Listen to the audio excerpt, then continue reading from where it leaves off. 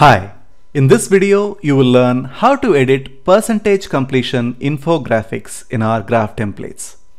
First, let us take a quick look at the different types of percentage completion infographics available in our templates pack. As you can see here, there are eight different options available.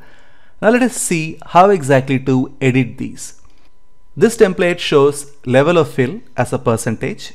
To edit this, all I need to do is to go to the specific chart, right click, go to edit data and say instead of 62%, I want to show just say 40% completion. I can do that. You can see that there is already a change made here. So that is how I edit this type of a chart template. The same thing works for this one as well. Even though these ones look so beautiful, they are absolutely editable.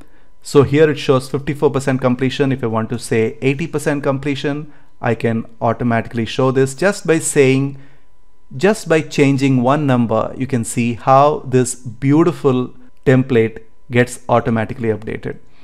The same thing works for this one as well. As you can see that there are six different bars here in this battery charge scale.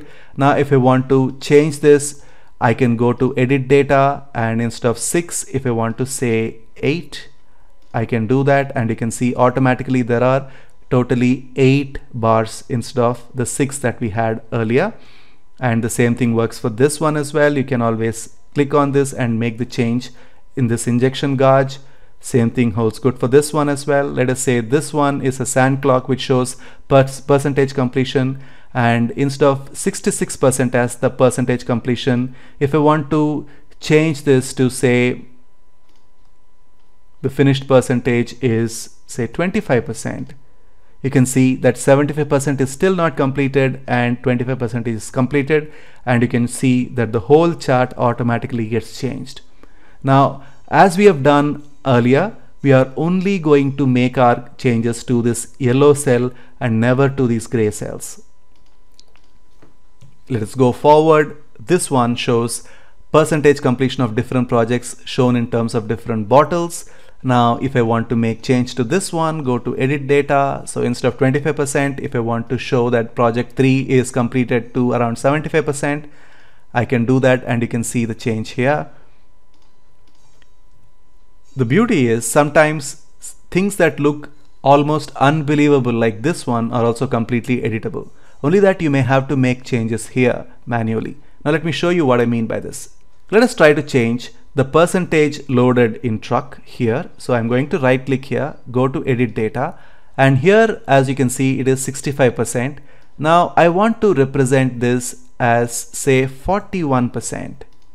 As soon as I do that, you can see the whole thing is recalculated 41%. If I want to make this as say 59, automatically it is made as 59. And if I want to make this as 85, automatically it is done as 85. So each time I make the change here, this change is automatically made. I just need to go here and make that change.